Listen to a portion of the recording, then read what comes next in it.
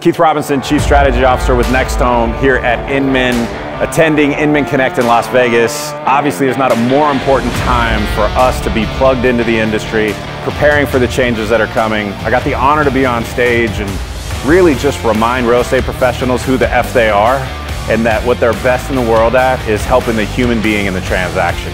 Tons of great content, all sorts of great conversations, several more days to go but just really enjoyed the time so far and can't wait for the rest. My favorite part about events is, of course, what you learn in the rooms, but there's also the conversations that you have at the bar, the conversations that you have over dinner, those times where you can be really authentic and share your struggles and your problems and lean in and help each other the way this industry knows how to do.